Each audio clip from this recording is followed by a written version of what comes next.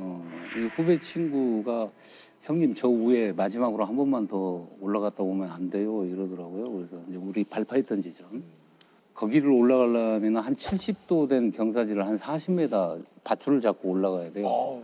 올라가가지고도 사다리 5m짜리를 직각으로 올라가야 무, 무너져서 걸린 데가 이제 보여요. 바로 눈앞에 보이거든요. 마지막이라고 하는데 또 안 가볼 수도 없고 그래 가보자 하면서 헤드램프를 딱 켜는 순간 불이 깜빡거리기 시작해요. 이제 깜빡거리기 시작할 때 처음으로 두려움이 이제 응? 딱 몰려오더라고요. 마음에. 이게 이제 꺼지는 순간 저희는 한 발자국도 움직일 수가 없거든요. 완전히 암흑으로 변하기 암흑이죠. 때문에. 좀 그런 이제 느낌을 받으면서 이제 거기를 빨리 갔다 오자 하고선 올라갔어요. 올라가가지고 파이프를 있는 힘대로 때렸죠. 때리면서 막 소리를 지르고 막 번갈아가면서 그런 거를 한, 한 40분, 1시간 정도 이렇게 하다가 아무런 반응이 없어요. 이렇게. 그래서 내려가다가 춥다 하고서 이제 내려왔어요. 내려와가지고 이제 옷을 벗어서 장작 깊이 한두 개 정도 이제 올려놓고 보니까 장작도 여섯 깊이가 남았더라고요. 그래 이제 우리 곁에 있던 것들이 한 가지 한 가지씩 전부 이제 없어지는 상황이잖아요. 그래서 이제 옷을 말리면서 이제 제가 처음으로 이 후배한테 이제 그런 얘기를 하게 되죠.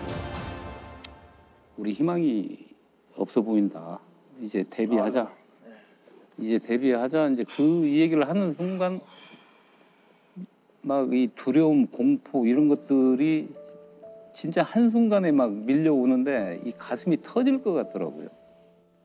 뭐 이거 여섯 개빛 불 펴서 떼봐야 길게 가봐야 한 두 시간? 이제 마지막 방법은 비닐 천막 뜯어가지고 비닐을 몸에다 감- 감는 방법밖에 없잖아. 칭칭. 아무것도 이제 없었으니까 불도 없지. 그러니까 이제 모든 게 이제 끝나 버리는 거죠. 이제 거기서 그냥 기다리다가 이제 누가 먼저 정신 잃고 잠들게 될지는 아무도 모르는 거죠. 그냥 아 나는 이제 이렇게 죽는구나. 아, 죽는 게 이런 거구나. 하여튼 무서웠어요. 그때는 진짜 무서웠어요. 하나님이 계신다면은 단 1, 2분의 시간을 나한테 주십시오. 부처님이 계신다면 좀 그렇게 해 주십시오.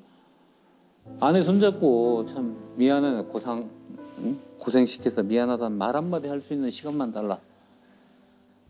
아버지하고 만날 수 있는 단 1분이라도 시간이 주어진다면 아버지를 꼭 안고 꼭 사랑한다는 말을 해드리고 싶었어요. 왜냐하면 아버지한테 사랑한다는 말을 한 번도 한 적이 없어서 예, 그 말을 꼭 해드리고 싶었어요.